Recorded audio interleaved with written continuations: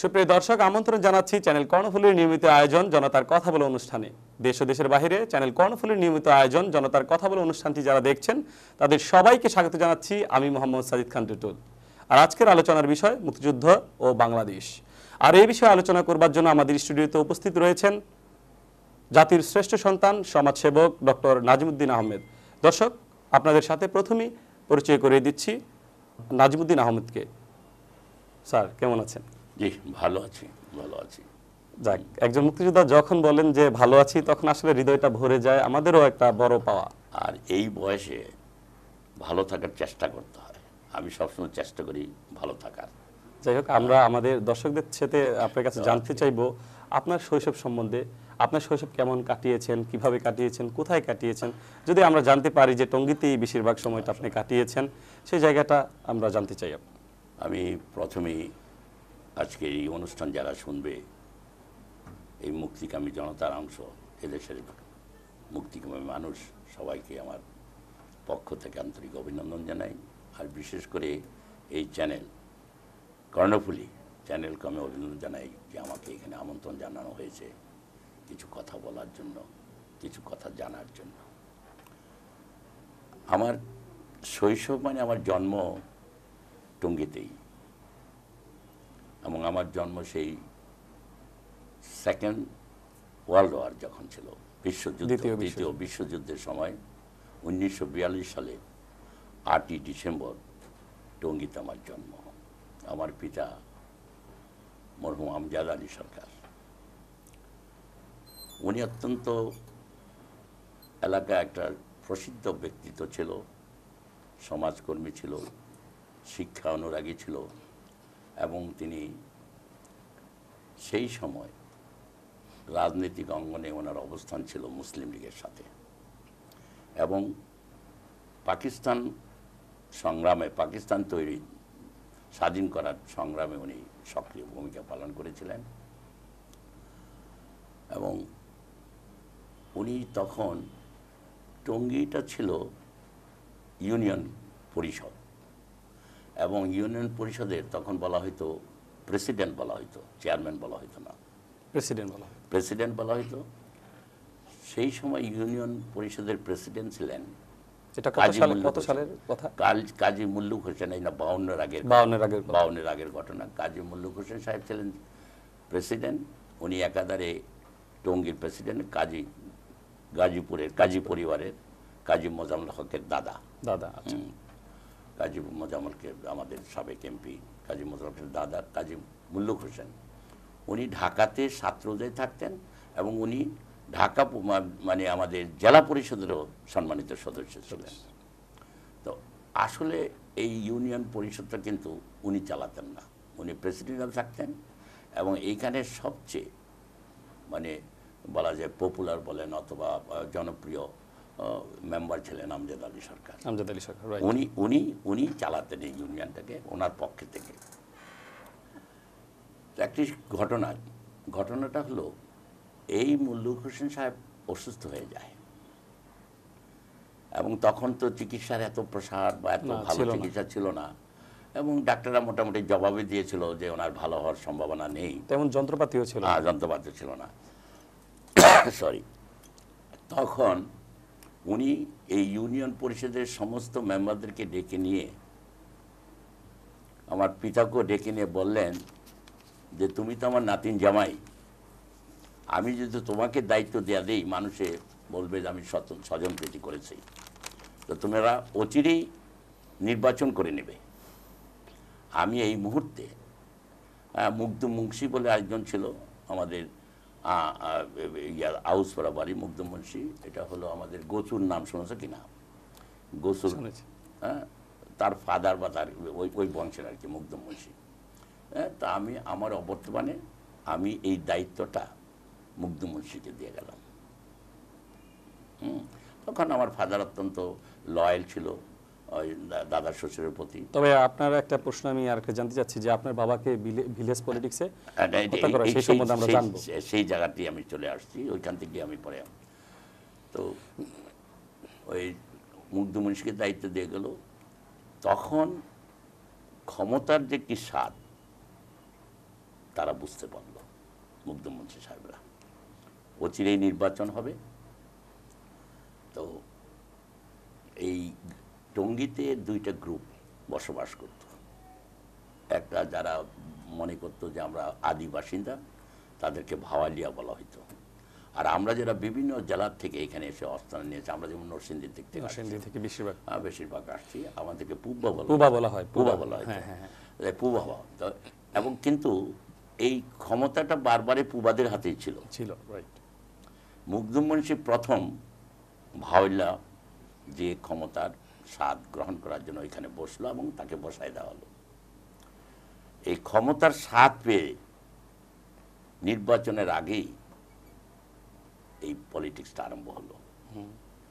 আগামী নির্বাচনে আমজাদারি সরকারকে কিছুতে হারানো যাবে না তাই রাতের অন্ধকারে বাউন্ন সালে পাঁচই ফেব্রুয়ারি রাতের অন্ধকারে তাকে হত্যা হত্যা করা হলো। এই ছিল ইতিহাসটা আর কি। যাক এরপর তখন আমি ক্লাস থ্রিতে পড়ি। থ্রিতে পড়ে? অনেক ছোট অনেক ছোট। তখন আমার ফাদার আমরা চার ভাই তিন বোন। হুম, আর আমি হলাম ভাইদের মধ্যে তৃতীয়। তৃতীয়। আর বোনগুলো সবার বড় এক বোন আর সবার ছোট হলো দুই বোন তিন বোন। উনি মৃত্যু যাওয়ার পরে আমি তখন গাজীপুরের প্রাইমারি স্কুল আছে আমাদের টঙ্গী গাজীপুর। সেই স্কুলে পড়তাম নানার বাড়িতে থেকে। ওইখান থেকে ভালো রেজাল্ট করলাম। পঞ্চম শ্রেণীতে বৃত্তি পাইলাম। এরপরে তখন সিক্সথেতে আবার বৃত্তি দেওয়া হতো। ওই বৃত্তি দেওয়ার জন্য আমি গিয়ে সাতাইশ স্কুলে ভর্তি হলাম। গাজীপুর সাতাইশ। গাজীপুর সাতাইশ। সাতাইশ স্কুল থেকে আমরা এই পরীক্ষা দিলাম কিন্তু পরীক্ষা ভালো হলো না সেখানে বৃত্তি পেলাম না। তখন আমরা চলে গেলাম তখন কিন্তু আমাদের এই টঙ্গির লোকেরা লেখাপড়া করার জন্য ডাঙ্গা চলে যেত। ডাঙ্গা চলে হ্যাঁ আমাদের পুরানো অনেক লোক আছে আমার সিনিয়র যারা ডাঙ্গা চলে গেল আমিও ডাঙ্গা চলে গেলাম। ডাঙ্গা স্কুলে গিয়ে ভর্তি হলাম এক জমিদার বাড়ি আছে মানে মানে ক্ষয়ষ্ণু জমিদার আরমান মিয়া আরমান মিয়ার বাড়িতে আমি থাকতাম। আর ছোট দুইটা বাচ্চা ছিল ওদেরকে লেখাপড়া করাই আমি ওইখানে লেখাপড়া করতাম ওই ক্লাস সেভেনে গিয়ে ভর্তি হই। লজিং মাস্টারের মতন কিছু? Lodging master lodging master lodging lodging থেকে লেখাপড়া করেছি। আমি মেট্রিক পাস তখন মেট্রিক ছিল নট এসএসসি হ্যাঁ? কারণ আমি ফিফটি নাইনে পাস করেছি। তো আমরা ওই লজিং মাস্টারের মতো করলাম কিন্তু নিজের বাড়ির মধ্যে থাকতাম। ওনার ওই জমিদার সাহেবের বড় একটা মেয়ে ছিল পরি। উনি অত্যন্ত ছোট ভাইয়ের মতো আমাকে স্নেহ কথা আদর করতো। মানে আমি একটু আগা ছিলাম কাপড় পরছি তো সাত দিন ধুই না হ্যাঁ ওই ধরে ধরে উনি খুলে ধুয়ে দিত, গোসল করি না ধরে গোসল করাই দিত। মানে একটু নিজের বাড়ির মতো, আমি কোনোদিন বুঝি নাই যে এটা আমার বাড়ি না বা এটা লজিং বাড়ি। তো ওইখানে আমার জীবনের অনেক কিছু শেখা। ডাঙ্গা এলাকাটা ছিল হিন্দু প্রধান। স্বাধীনতার পরপর এখানে হিন্দু প্রধান এলাকাটা ছিল ডাঙ্গা বাজারে হিন্দু বেশি ব্যবসায়ী ছিল। হ্যাঁ এই জন্য ওই এলাকায় কিন্তু কাউ কাউকে ভাই বলতো না দাদা বলতো। তা আমি নাজিম দাদা হিসাবে পরিচিত ছিলাম। তা আমাদের একজন সিনিয়র ছিল মিলন দা মহিউদ্দিন মিলন। ওনার ফাদার ছিল এলএমএফ ডাক্তার। উনি আবার আমাদের স্কুলের সভাপতি ছিলেন। এই মিলনদার কাছে আমাদের বলা যায় যে সেই সময়ে মানুষের জন্য কিছু করতে হবে মানুষের জন্য কাজ করব সেইগুলি তার কাছ থেকে আমরা প্রশিক্ষণ নেওয়া। উনার একটা গুণ ছিল ডাক্তারের ছেলে উনি সেই সময় বসন্তের টিকা দেওয়া হতো। টিকা দেওয়া হতো। হ্যাঁ কলেরার ইঞ্জেকশন দেওয়া হতো। এগুলি আমাদেরকে নিয়ে নিয়ে উনি গ্রামে গ্রামে দেওয়াতেন। দেওয়াতেন। আচ্ছা আচ্ছা আচ্ছা। আর ওই কি আপনি ডাক্তার হয়ে গিয়েছেন না তখন আমি ক্লাস সেভেনে পড়ি। সেই সময় থেকে কীভাবে আমরা ইনভলভ হই সমাজের দিকে সমাজের কাজের মধ্যে? উনি আমাদেরকে নেতৃত্ব দিতেন আমাদের এসব করতেন তারপরে এই ওই গ্রামে পুকুরটা পরিষ্কার করতে হবে মজা পুকুর এগুলি উনি আমাদের দিয়ে করাতেন।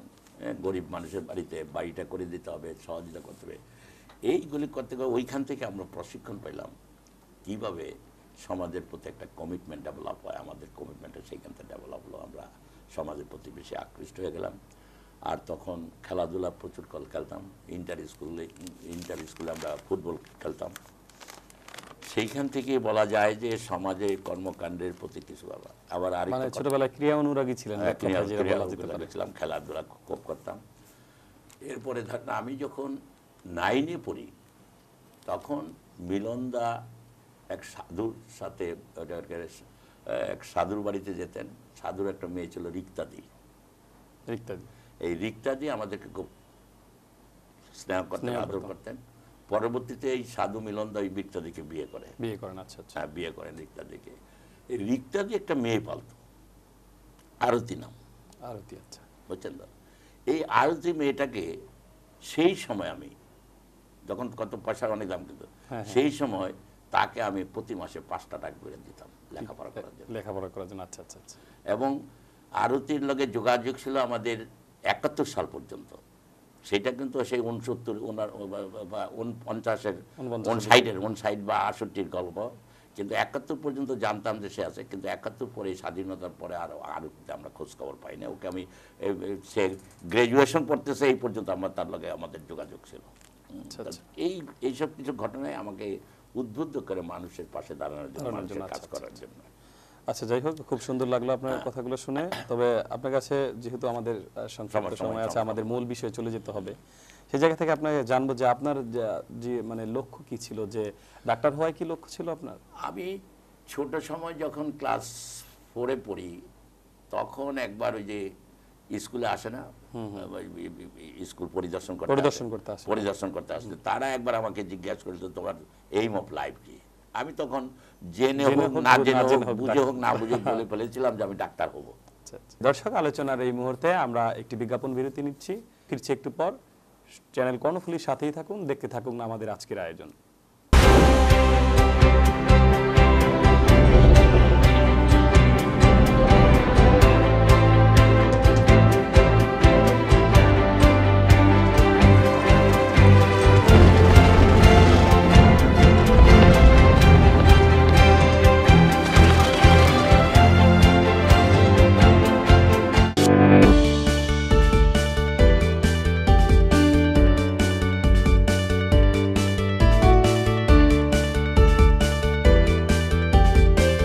দালান নির্মাণের এক বিশ্বস্ত প্রতিষ্ঠান, সাইমা প্রপার্টিজ প্রাইভেট লিমিটেড, আপনার উপরে ওঠার সঙ্গী।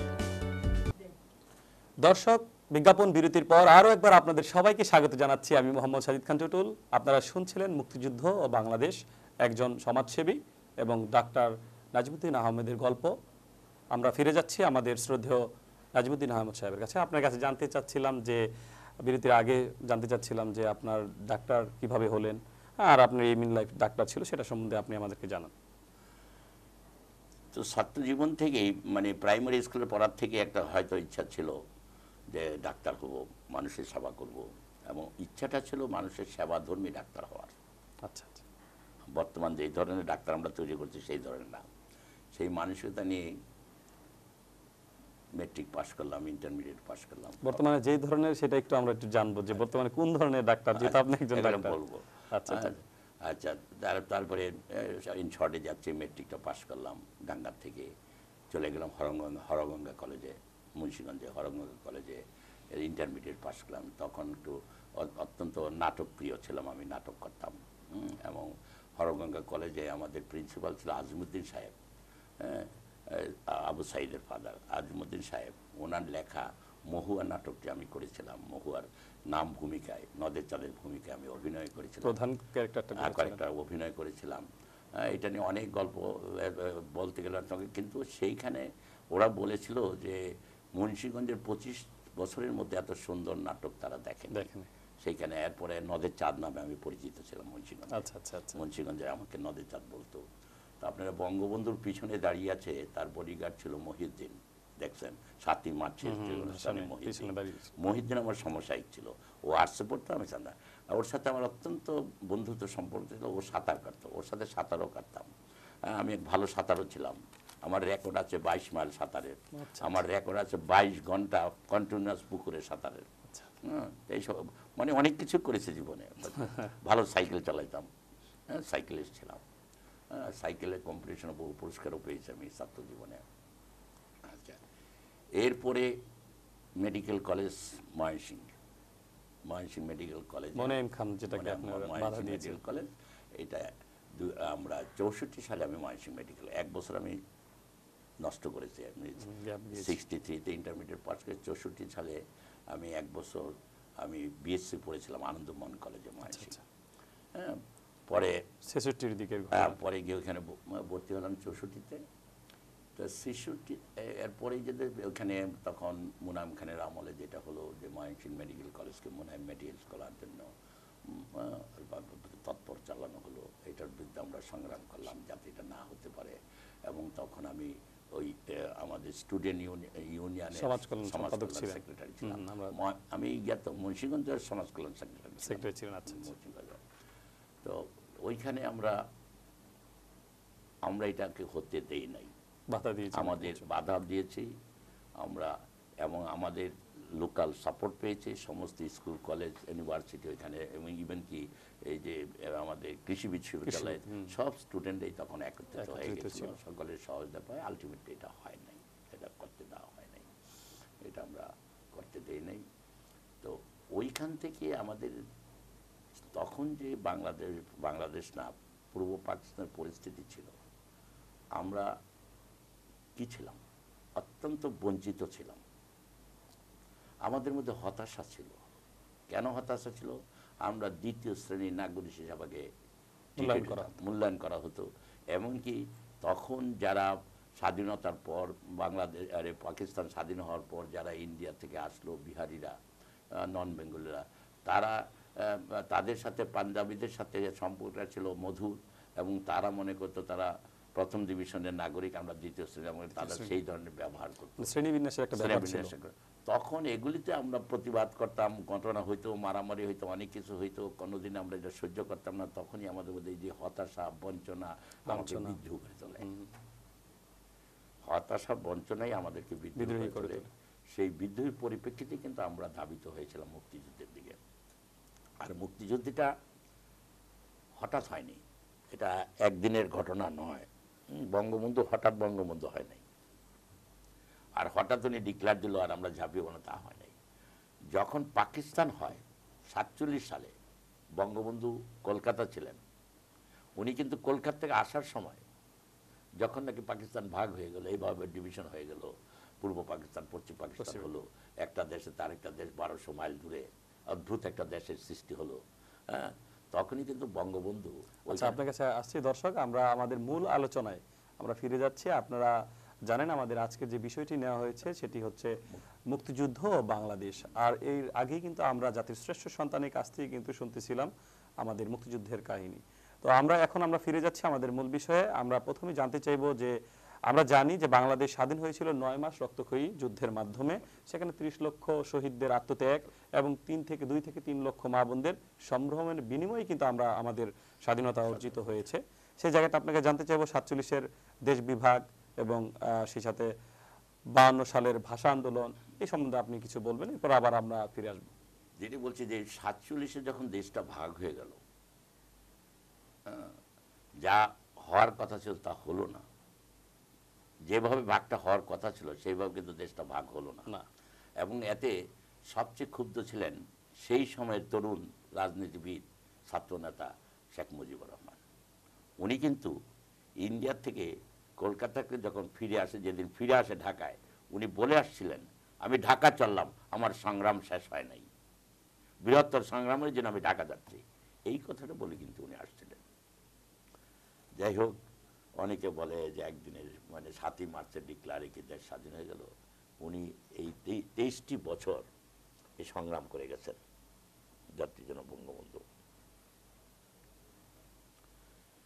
এরপর প্রতিটি ধাপে ধাপে আসলে দর্শক একটু দর্শক আপনারা সত্যিকার অর্থে যে আসলে জাতির জনকের নাম শুনে যে যিনি চোখের পানি রাখতে পারে না আসলে তারাই তো জাতির শ্রেষ্ঠ সন্তান হতে পারে সেই জায়গাটা আমরা আপনাদেরকে জানাতে চাই। আমাদের শ্রদ্ধেয় উনি আসলে জাতির জনকের কথা বলার পরেই তার আসলে চোখ দিয়ে আসে এবং আমারও শরীরের আসলে শিহরণ উঠে গেছে। তা যাই হোক, আমরা যেহেতু আমাদের প্রোগ্রাম টানতে হবে, আমরা জাতির জনক সম্বন্ধে যা জানতে চাইছিলাম এখন এরপরে প্রতিটি ঘটনা, আজকে ভাষা আন্দোলন। জাতিকে ধ্বংস করতে হলে ভাষাকে ধ্বংস করতে হবে। এই ভাষা আন্দোলনের সময় কিন্তু এই নৌন যে শব্দটি করেছিলেন এখানে কিন্তু বঙ্গবন্ধুর ভূমিকা প্রকট ছিল। প্রত্যেকটা স্টেপে বঙ্গবন্ধু। তারপরে মার্শাল হলো, তারপরে যুক্তফ্রন্টের হলো, সব জায়গায় তো বঙ্গবন্ধু শেখ মুজিবুর ছিলেন। শিশুটির আন্দোলন, শেখ সাত দফা। কোথায় ছিলেন না উনি? উনি একমাত্র বাঙালি, যিনি পাকিস্তানকে মেনে নিতে পারেন নাই, এবং সেই দিন থেকে উনি চিন্তা করছিলেন যে, এ দেশকে একদিন স্বাধীন করতে হবে, মুক্ত করতে হবে, এদের হাত থেকে রক্ষা করতে হবে। তারই প্রতিফলন সাতই বক্তব্য আর এই যে ছাব্বিশে মার্চ স্বাধীনতা দিবস বলে আমি কিন্তু এটা কেন জানি মেনে নিতে পারি না। কেন? আমার কেন জানি মনে হয় তো সাতই মার্চে তো উনি ডিক্লেয়ার দিয়েছেন। ঠিক। যদি স্বাধীনতা মানে স্বাধীনতা দিবস হয় সাতই মার্চ সাতই মার্চ হওয়া দরকার ছিল। আমি একজন মুক্তিযোদ্ধা হিসেবে বিশ্বাস করি যে সাতই মার্চই স্বাধীনতা দিবস হওয়ার কথা। কিন্তু সেটা না করেই আজকে বিতর্কের সৃষ্টি করেছে আমরা। যদি সাতই মার্চ স্বাধীনতা দিবস হতো আজকে এই বিতর্ক আসতো না যে ঘোষণা কে দিয়েছে। হ্যাঁ. আচ্ছা। আর স্বাধীনতা উনি সবই বলে দিয়েছেন। উনি যুদ্ধ ঘোষণা করে দিয়েছেন। ওটা কোথায় বাকরা বাকি রাখলেন কোথায়? উনি শত্রু নির্দিষ্ট করে দিয়েছেন। তোমাদের যা কিছু তাই নিয়ে মোকাবিলা করতে হবে। কার মোকাবিলা করব? কে শত্রু? তাহলে শত্রু উনি নির্দিষ্ট করে দিয়েছেন। অবশ্যই। হ্যাঁ, এখানে তো উনি ঢাকা ঢেকে কিছু রাখেন নাই। উনি কিছু বাদ রাখেন নাই। আমার শত্রুকে আমার শত্রু এই। পশ্চিম পাকিস্তানি যারা দখলদার হ্যাঁ, তারা হলো আমার শত্রু। তোমাদের যা কিছু তাই নিয়ে শত্রুর মোকাবিলা করতে হবে। আর বলে কি দিয়েছেন? উনি যুদ্ধ ঘোষণা করে দিয়েছেন। হ্যাঁ অতএব আমি বলব আর আরেকটা কথা আমি এখানে বলতে চাই যে অনেকে কিছু দাবি তুলছে মুক্তিযোদ্ধা দিবস সম্বন্ধে। কিছু কিছু লোক দেখে বলে যে পহেলা ডিসেম্বরকে মুক্তিযোদ্ধা দিবস করার জন্য। আমি এটার কোনো মানে মানে তাৎপর্য বা আগামাতে কিছু বুঝতেছি না। পহেলা দিবস কেন মুক্তিযুদ্ধ মুক্তিযুদ্ধ হবে? আমার মুক্তিযুদ্ধের সৃষ্টি হলো সাতই মার্চ। সাতই মার্চ। আমি সাতই মার্চের বক্তৃতা শুনে আমি সেই দিন থেকে মুক্তিযোদ্ধা। তো আমার জন্ম হয়েছে সাতই মার্চ। যেমনি স্বাধীনতার ডিক্লার হয়েছে সাতই মার্চ আমার মুক্তিযুদ্ধের জন্ম হয়েছে সাতই মুক্তিযুদ্ধ হিসেবে পরিচিতি দিয়েছে আমি সাতই মার্চ থেকে। সেই দিন থেকে আমি আমার ডিউটি ছেড়ে কাজ ছেড়ে অস্ত্র হাতে যাই ছিল তাই নিয়ে আমি মাঠে নেমে গেছি যুদ্ধে নেমে গেছি। অতএব অতএব মুক্তিযোদ্ধা দিবস যদি বাংলাদেশে কোনোদিন কেউ করে এই সরকার করুক বা ভবিষ্যতে কেউ যদি করে এই সাতই মার্চ হবে মুক্তিযোদ্ধা দিবস। স্বাধীনতা দিবসটা আমি আর বলব না যে এই মুহূর্তে বদলাও বা বদলে যাও কিন্তু হওয়া উচিত ছিল। তাইলে আর এই বিতর্কিত হতো না। আজকে যে বিতর্কটা হচ্ছে হ্যাঁ কে ঘোষণা করল এই বিতর্কিত হতো না যদি সাতই মার্চ আমি স্বাধীনতা দিবস। বলতাম। তাই সেইটা হয় নাই কিন্তু মুক্তিযোদ্ধা দিবস সাতই মার্চ হওয়া উচিত। আচ্ছা আমরা আপনাকে জানতে চাইব যে যুক্তফ্রন্টের নির্বাচনে কিন্তু বাংলা আওয়ামী লীগ আওয়ামী মুসলিম লীগের পক্ষ থেকে দেখা গিয়েছে যে অনেক ভোটে কিন্তু নির্বাচিত হয়। তো সেইটা কেন আমরা তখন কেন তারা মেনে নিতে পারেনি? কারণ পাকিস্তানিরা বিশেষ করে পাঞ্জাবিরা, তারা কোনোদিনই বাংলাদেশকে বাঙালিকে মেনে নিতে পারে নাই এবং এদের শাসন তো দূরের কথা। এদেরকে মেনে নিতে পারে নাই আমরা যেই পাকিস্তানের নাগরিক। হ্যাঁ কারণ তো কাদের সাথে দেখেন একটা ধর্মকে কেন্দ্র করে কিন্তু দেশটা তৈরি হয়েছিল। অথচ তাদের ভাষার সাথে আমাদের সম্পর্ক নেই, মিল নেই, তাদের কৃষ্টির সাথে মিল নেই, তাদের সংস্কৃতির সাথে মিল নেই কোনো কিছুর সাথে মিল নেই। তাদের এটিচিউডের সাথে আমাদের মিল নেই। তাদের ব্যবহারের সাথে আমাদের মিল নেই। এইভাবে একটা জাতি হতে পারে না। এই ধরনের জাতি- শুধু একটা ধর্মকে নিয়ে একটা জাতি হতে পারে না। অতএব এই জাতি সত্তাই ছিল বড় জিনিস। বড় জিনিস। হ্যাঁ এবং আমরা ছিলাম খাঁটি বাঙালি। অতএব এই- এই জাতিসত্তার জন্যই আমাদের এই বিরোধ এই জাতিকে রক্ষা করার জন্য এই জাতির জনবঙ্গবন্ধু এই সারা তেইশ বছরের সংগ্রাম তারপরে স্বাধীনতা যুদ্ধ সব কিছু কিন্তু এর জন্য। অতএব এখানে এটা আমার মনে হয় যে এটা বিকল্প ছিল না। যেদিন পাকিস্তান সৃষ্টি হলো সেদিনই বাংলাদেশ স্বাধীন হওয়ার বীজ বপন করা হয়েছে। সেই দিনই। অতএব আমরা স্বাধীন হবই এবং তা হয়েছে। আর বাংলাদেশ বঙ্গবন্ধু যে বারবার করছে আমাদেরকে কেউ দাবিয়ে রাখতে পারে না। এটার প্রমাণ কিন্তু বারবার দিয়েছে। আমি রিসেন্টলি একটা খেলা খেললাম। পেশা পালু। পেশা পেল হ্যাঁ। আর পেশা পালু খেলাটা এশিয়ান কাপ টুর্নামেন্ট হলো আমার এখানে। এশিয়াতে ইন্ডিয়া জয়েন করে তারা দুই হাজার দশ সাল থেকে পেশা পালু খেলতেছে। নেপাল জয়েন করলে তারা ষোলো সাল থেকে পেশাবল খেলতেছে। আমরা মাত্র ছয় মাস আগে পেশাবল খেলা আরম্ভ করেছে বাংলাদেশে। আমরা চারটা চ্যাম্পিয়নশিপ রেখে দিয়েছি ইন্ডিয়ানকে হারাইয়া। এবং এই বোধহয় প্রথম কোন এশিয়ান কাপে বাংলাদেশ বিজয়ী হয়েছে প্রথমবারের মতো হ্যাঁ, চারটি কাপ রেখে দিয়েছি। এই জন্য তখন আমি বলেছিলাম আমি ওইখানে বক্তৃতা যে বলেছিলাম যে দেখো আমার জাতির জনক বঙ্গবন্ধু বলেছে আমাদেরকে দাবি রাখতে পারব না। এই সে দামাল ছেলে বাংলার দামাল ছেলে এদেরকে এই মেয়েদেরকে দাবিয়ে রাখতে পারবে না তোমরা। আচ্ছা আপনার কাছে জানতে চাইব যে আমরা কিন্তু স্বাধীন ছিলাম তখন। কিন্তু আমরা কি মুক্ত ছিলাম? আমরা কি মুক্তি ছিলাম? আমাদের কি মুক্তি ছিল তখন? দেশটাকে তো স্বাধীন করা হয়েছিল মুক্তিকামী মানুষের জন্য তাই না? তো সেই সম্বন্ধে আপনি কি বলবেন? আমরা স্বাধীন দেশের স্বাধীন নাগরিক ছিলাম। কিন্তু আমরা বঞ্চনার শিকার ছিলাম। এবং বঞ্চনা আমাদেরকে হতাশা করেছে এবং এই হতাশা, বঞ্চনা থেকে মুক্তির জন্যই আমরা মুক্তিযুদ্ধ করেছি। আমরা স্বাধীনতা সংগ্রাম করিনি। এটা ছিল মুক্তিযুদ্ধ এবং সেটা আমরা অর্জনও করেছি। কিন্তু আজও কি আমরা মুক্ত হতে পেরেছি? আজকে কিন্তু উন্নয়ন হচ্ছে। আমি বলব প্রচুর উন্নয়ন করছে।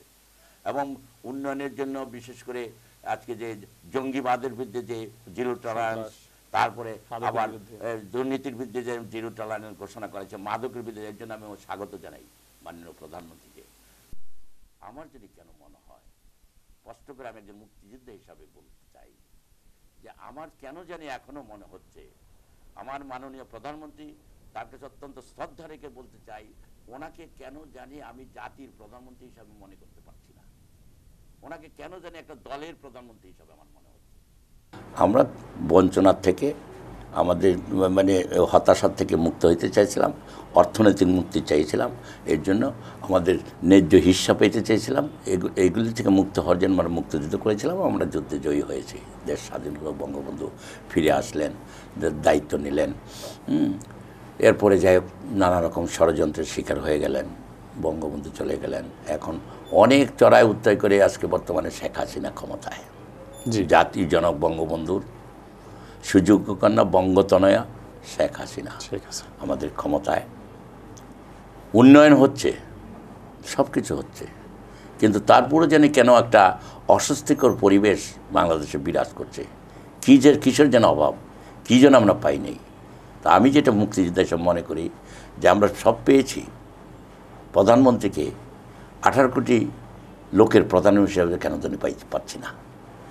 আমি অনুরোধ করব মাননীয় প্রধানমন্ত্রীকে, উনি জাতির প্রধানমন্ত্রী হোক এবং ন্যায় বিচার প্রতিষ্ঠা করে সর্বোচ্চ স্তরে যেন আমরা ন্যায় বিচার পাই, আমাদের মানবাধিকার যেন সর্বস্তর আমরা করে করি এবং বঞ্চনা এখনও বঞ্চনা হচ্ছে এখনও বিনিময় ছাড়া কিছু হচ্ছে না বাংলাদেশে, এই বাংলাদেশে বিনিময় থেকে এই জাতিকে মুক্ত করতে হবে। আশ্চর্য হয়ে যায় আমি যখন বিনিময় ছাড়া চাকরি পাওয়া যায় না বিনিময় ছাড়া নেতা হওয়া যায় না। নেতা হতেও এই দেশে বিনিময় লাগে। এর থেকে প্রধানমন্ত্রী এই জাতিকে মুক্ত করে দেবেন। এটাই ওনার কাছে আমাদের প্রত্যাশা। আচ্ছা আমি আপনার কাছে আর একটু জানতে চাইব যে আসলে প্রধানমন্ত্রী তো আমাদের উন্নয়ন উন্নয়নে মহাসড়কে বাংলাদেশ আমরা একটি প্রোগ্রাম করেছিলাম আপনারা হয়তো দেখেছেন। সেখানে কিন্তু আমরা প্রধানমন্ত্রীর উন্নয়ন নিয়ে কথা বলেছিলাম। তো সেই জায়গাতে আমরা তো উন্নয়ন দেখছি কিন্তু আমরা কি মুক্তি দেখছি না? সেটাই বলতে চাচ্ছেন? না উন্নয়ন দেখছি। বুঝছেন না? উন্নয়নটা কি বলে জানেন? ছোট্ট একটি ঘটনা। একজন মন্ত্রী অনেক কাজ করেছিল একটা গ্রামে। সাড়ে চার হাজার ভোট ছিল ওই গ্রামে। পরবর্তীতে উনি মাত্র সাতাশটি ভোট পাইলেন ওই গ্রাম থেকে।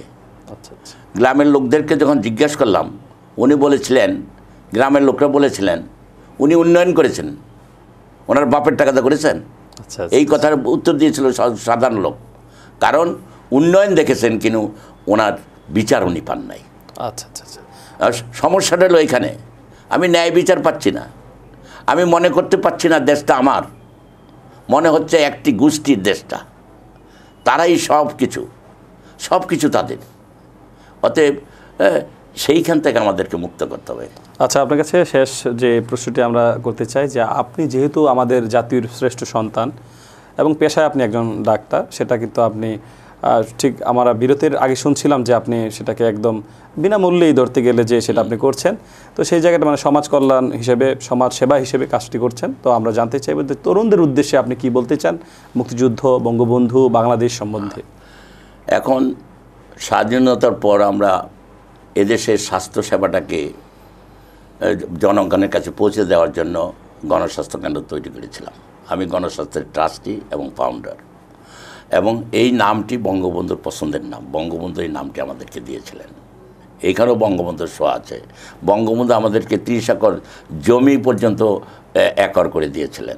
এখানেও বঙ্গবন্ধুর শো আছে। গণস্বাস্থ্য। গণস্বাস্থ্য একটা প্রতিষ্ঠান। একটি ব্যক্তি উল্টাপাল্টা কথা বলতে পারে। সেই ব্যক্তি তার নিজস্ব মতামত থাকতে পারে রাজনৈতিক দর্শন থাকতে পারে কিন্তু গণস্বাস্থ্য কিন্তু জনগণের সম্পদ জনগণের জন্য কাজ করে অতএব গণস্বাস্থ্য একটি নিরপেক্ষ প্রতিষ্ঠান। প্রতিষ্ঠান হ্যাঁ একজন ব্যক্তির জন্য গণস্বাস্থ্যের কোনো ক্ষতি হওয়া উচিত না। আমার অনুষ্ঠান গণস্বাস্থ্য করেছে বলে অনেকে সেখানে যায় নাই। এটা হওয়া উচিত না। এটা আমি মনে করি না। আমার আমার বঙ্গবন্ধু কন্যা বঙ্গতনয় বলেছে ধর্ম যার যার কিন্তু অনুষ্ঠান সকলের। তো খেলাধুলাটা কি? এটা তো একটা অনুষ্ঠান। এটা তো সকলের। এটা তো কোনো ব্যক্তির বা কোনো গোষ্ঠীর বা কোনো দলের না। অতএব সেইখানে আমাদের কিছু নিরপেক্ষতা অবলম্বন করতে হবে। তরুণদের হ্যাঁ।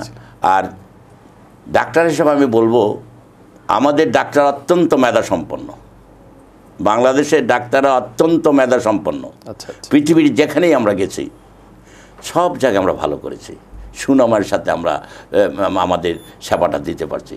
কিন্তু আমার দেশে আমার দেশে আমার কেন জানি মনে হয় আমার দেশে আমার ডাক্তাররা regarding profession they are sincere and honest that is the only problem প্রফেশনে আমরা সিনসিয়ার না অনেস্ট না। এটি সেটা কেন? সেটা কেন? এটা এটা কি নৈতিকতার অবক্ষয় এটা নৈতিকতার অক্ষয় বলতে পারেন অথবা মোহ বলতে পারেন হ্যাঁ, অথবা মোহ বলতে পারেন অথবা আচ্ছা, অর্থনৈতিক অর্থের দিকে বেশি ধাবিত চাচ্ছে হ্যাঁ আমরা ঠিক বুঝতে পারছি না যে how much land does a require একজন মানুষের কতটুকু সম্পত্তির দরকার? সেইটা সেইটা সেই অনুভূতিটা আমাদের মধ্যে নাই। সেই অনুভূতি নাই তাই আমরা এর পিছনে ঘুরছি বুঝছেন না? এক- একজন মানুষের কতটুকু সম্পদ দরকার? ঠিক। হ্যাঁ? ওই আমি ইন্টারমিডিয়েট পড়েছিলাম। How much land does man require রাজনৈতিক অতএব সেই সেইখান থেকে আমরা নিয়ে আপনি কীভাবে ভাবছেন বা আপনি কি করছে করছেন সমাজ এখন এই যে রিসেন্টলি আমাদের আরেকটা ইয়ে আর কি যে কী কয় ক্রিকেট নায়ক। হ্যাঁ। হ্যাঁ? ক্রিকেট নায়ক যে এমপি হলো কি নাম ওর নাম? মশরাফি। মাশরাফি বিন মুর্তজা। মাশরাফি মোর্তজা যেই কাজটি করলেন একটি হসপিটালে গিয়ে। হসপিটালে এটা তো দীর্ঘদিনের অভ্যাস। দীর্ঘদিনের অভ্যাস। আপনি টঙ্গিতে যান। টঙ্গিতে উনিশ জন নাকি কনসালটেন্ট আছে। গিয়ে দুইজন পাবেন না। দুজন হ্যাঁ? কেন এটা হচ্ছে? কেন এটা কন্ট্রোল করতে পারছি না? হ্যাঁ? আর এটা মাসাবি বলতে গেলে এখন মাসাবি এখন বিতর্কিত হয়ে যাচ্ছে। কেন? চাকরি ঠিক আছে তুমি ডাক্তার তুমি চাকরি করবা না। ঠিক আছে চাকরি ছেড়ে দাও। তুমি কি প্র্যাকটিস করো। তোমার তো সুযোগ আছে।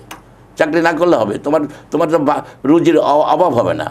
অতএব চাকরি যদি করতে হয়, যদি বেতন নিতে হয়, সরকারি বেতন নিতে হয়, জনগণের টাকার যদি বেতন নিতে হয় তাহলে তোমাকে সেখানে সময় দিতে হবে এবং যতটুক দেওয়ার ততটুকুই দিতে হবে। ধন্যবাদ স্যার আপনাকে আমাদের চ্যানেল কর্ণফুলি স্টুডিওতে আসার জন্য। সুপ্রিয় দর্শক, এত আপনারা দেখছিলেন চ্যানেল কর্ণফুলির নিয়মিত আয়োজন, জনতার কথা বলে অনুষ্ঠানটি।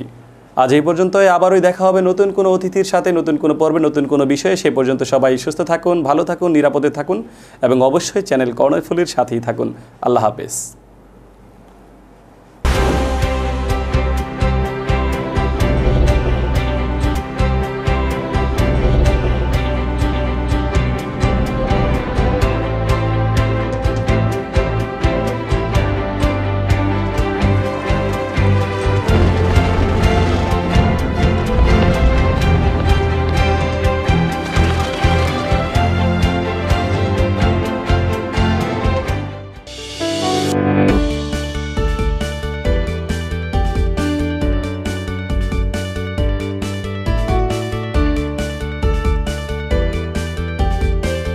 দালান নির্মাণের এক বিশ্বস্ত প্রতিষ্ঠান সাইমা প্রপার্টিজ প্রাইভেট লিমিটেড আপনার উপরে ওঠার সঙ্গী।